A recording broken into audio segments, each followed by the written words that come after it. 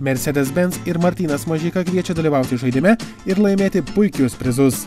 Pasidaryk juokingą, šmaičią ar įdomią asmenukę prie senovinio ar naujojo prabangaus Mercedes-Benz automobilio.